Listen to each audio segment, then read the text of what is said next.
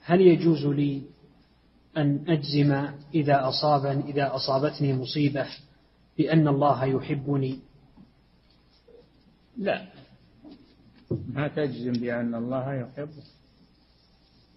المصيبة قد تدل على غضب الله عز وجل وانتقامه منك. نعم.